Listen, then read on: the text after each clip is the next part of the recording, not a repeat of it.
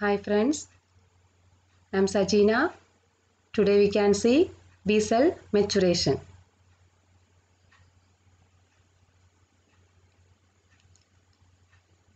All blood cells, they are originating from a common hematopoietic stem cell by a process called hematopoiesis. Hematopoiesis, it is occurring in bone marrow. This hematopoietic stem cell, it can also differentiate into B cell. And the differentiation of B cell include many steps. That is formation of pro B cell, pre B cell, immature B cell and mature B cell. And this differentiation requires the microenvironment provided by the stromal cells of bone marrow. And also the pro B cells and pre B cells they must interact with the stromal cells of bone marrow for formation of mature B cells. The stromal cells also secrete interleukin 7 it's a cytokine which is required for the development of B cell or required for the maturation of B cell. Coming to the steps, in the first step, hematopoietic stem cell differentiate into pro B cell or the progenitor B cell. Progenitor B cell, it express a receptor on their surface that is CD45 receptor.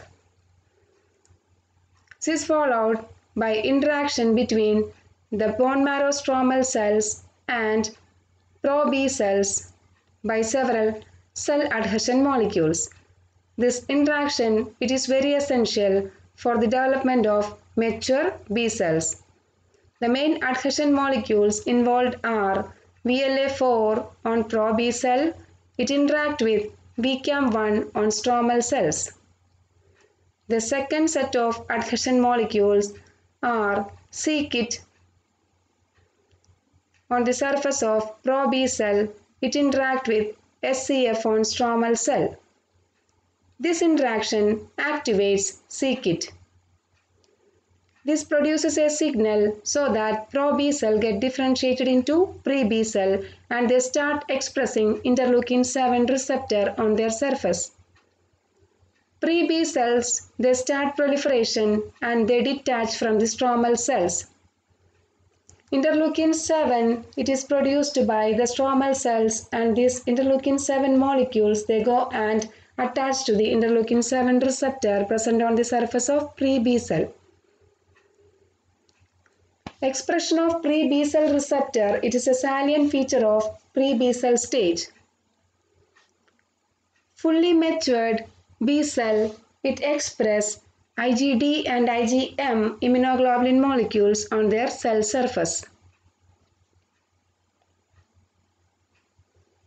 This is a diagrammatic representation of maturation of B cell. This is the bone marrow stromal cells.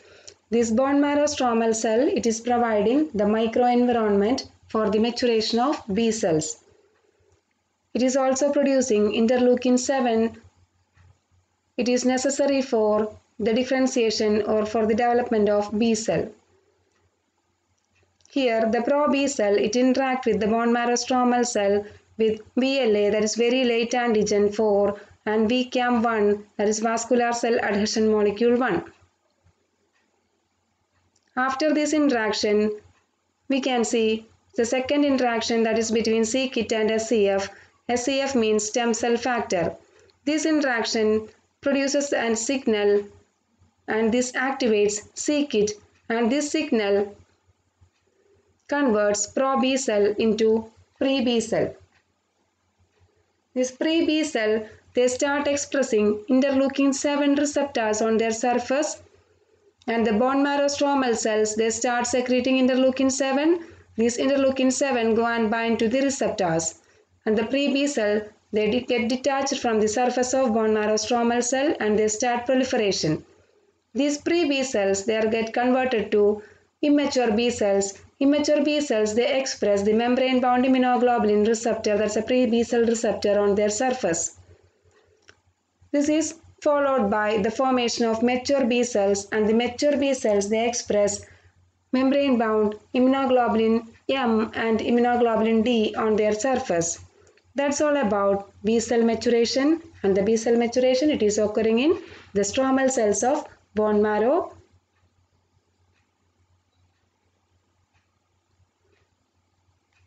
Thank you.